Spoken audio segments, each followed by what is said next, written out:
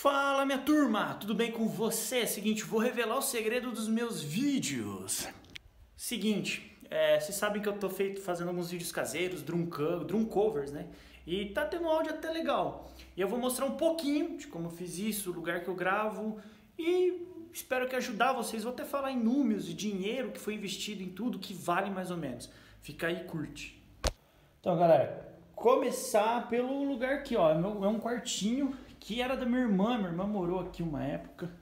Agora ela tá no AP dela. É tipo, tem armário, sabe, de criança, tudo aqui, ó, luzona.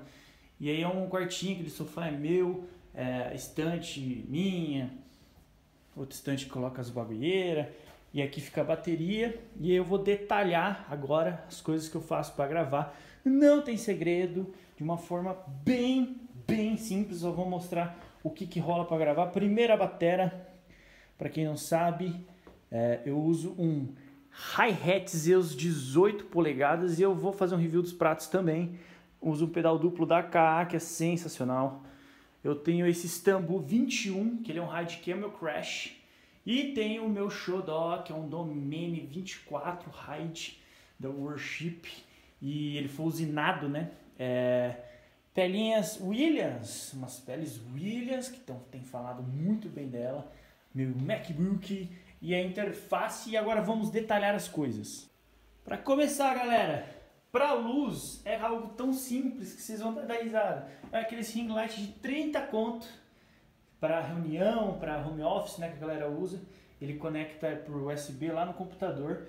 Parece que não, mas ele ajuda, ajuda muito na luz. Eu uso uma GoPro Hero 4, já comentei. Uma baita de uma câmera para mim, me atende muito bem baita câmera mesmo. E aí ela tem essa vantagem porque ela é olho de peixe, então pertão da bateria ela já pega um ângulo muito bom. Ring light, cara, 30 conto Mercado Livre. GoPro Hero 4, uns por volta de mil reais mais ou menos você acha. Gravação e captação. Cara, microfone, a cópia dos SM57 da Shure. Porque eu digo esse microfone? Pode usar também, a galera usa muito aquele microfone de, de voz, de vocal, que eu vou até colocar uma foto dele aqui, ó. Ele também dá para gravar, só que ele capta um ângulo um pouco, sei lá, o som não sai tão mais mastigadinho como esse aqui sai. Então aconselho comprar essa cópia do SM57. É um microfone que você acha por 100 reais na internet, cara. Mercado Livre, 100, 110 reais você acha esse microfone. Cabo XLR. O que é o cabo XLR? Essa entrada aqui de mic e tem essa entradinha, a outra ponta aqui, ó.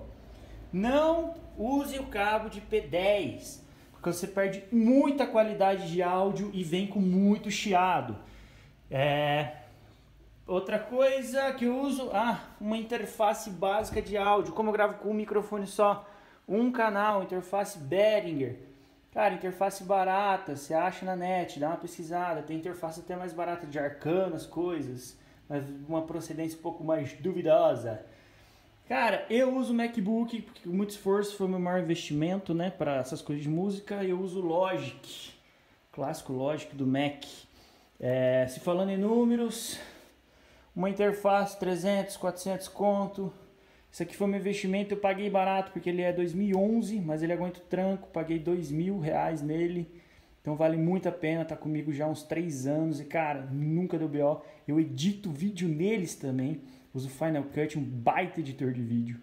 E cara, plugou, interface, reconheceu, você abre um canal e capita. Aí depois eu faço a mágica aqui. O que, que é mágica? Cara, nada de é, coisa improvável é, equalizador, joga, joga um multipressor para dar ganho no grave. Depois eu também separo um pouco e dou um pouco mais de detalhamento nos agudos, jogo um compressorzinho para dar mais volume. Cara, basicamente isso. Aí ele vem um som um pouco mais gordo, mas tudo tá primeiramente na afinação também da sua bateria, os pratos que falam bem, graças a Deus. Outro detalhe muito importante é Cara, é uma RMV essa bateria, só que aquilo que eu te falo, se você saber afinar, você tira somzão. E aí é basicamente isso. Qualquer dúvida, manda aí, deixa eu virar a câmera pra.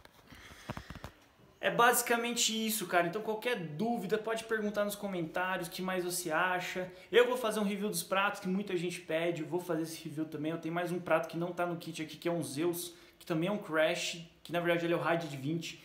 E vou falar sobre eles, o custo-benefício, vou tocar para sentir também a vibe, beleza? É, qualquer dúvida, pergunta, se vocês têm dúvida, mas basicamente com tudo isso aqui que eu mostrei, você consegue começar a fazer drum covers maneiros, maneiros, é lógico. Você captar peça por peça é outra vibe, você regula cada peça. Mas se você captar já com o mic, cara, não tem aquele som estourado, não vem aquele som tão cruzão, você consegue tratar. Então já tem uma diferença muito boa. E sempre aconselho a cópia do SM57. Ele é um microfone muito bom para captar instrumento, principalmente bateria, que é os tambores. Então ele é um dos mix chaves para caixa, muita gente usa ele, né?